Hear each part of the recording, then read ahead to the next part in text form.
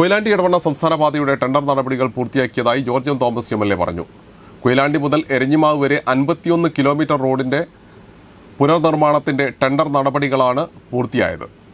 Rebuild Kerala പദ്ധതിയിൽ ഉൾപ്പെടുത്തി പുനർനിർമ്മിക്കുന്ന കൊയിലാണ്ടി താമരശ്ശേരി മുക്കം അരീക്കോട് ഇടവണ്ണ സംസ്ഥാന പാതയുടെ ടെൻഡർ നടപടികളാണ് പൂർത്തിയായത്.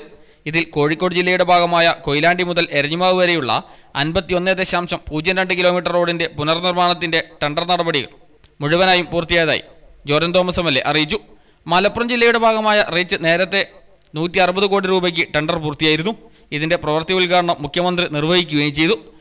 കൊയിലാണ്ടി പൂനൂർ പൂനൂർ ഓമശ്ശേരി ഓമശ്ശേരി എരഞ്ഞിമാവ് എന്നീ മൂന്ന് റീച്ചുകളുടെ നിർമ്മാണത്തിന് ഇരുന്നൂറ്റി ഇരുപത്തിരണ്ട് കോടി രൂപയുടെ കരാർ തിരുവനന്തപുരം ആസ്ഥാനമായ സ്ത്രീധന്യ കമ്പനിക്കാണ് ലഭിച്ചത്. ആവശ്യമായ വീതി ലഭ്യമാക്കുന്ന ഇടങ്ങളിൽ പന്ത്രണ്ട് മീറ്റർ ക്യാരേജ് വേ ആയി അത്യാധുനിക സൗകര്യങ്ങളോടെയാണ് റോഡിന്റെ പുനർനിർമ്മാണം നടക്കുക. കലുങ്കുകൾ പാലങ്ങൾ എന്നിവയുടെ നിർമ്മാണവും പരിപാലനവും ഡ്രൈനേജുകൾ ടൈൽ വിരിച്ച ഹാൻഡ്രൈലോട് കൂടിയ നടപ്പാതകൾ പ്രധാന ജംഗ്ഷനിലൂടെ സൗന്ദര്യവൽക്കരണം തെരുവുവിളക്കുകൾ തുടങ്ങി അത്യാധുനിക സംവിധാനത്തോടെയാണ് റോഡ് നവീകരിക്കുക.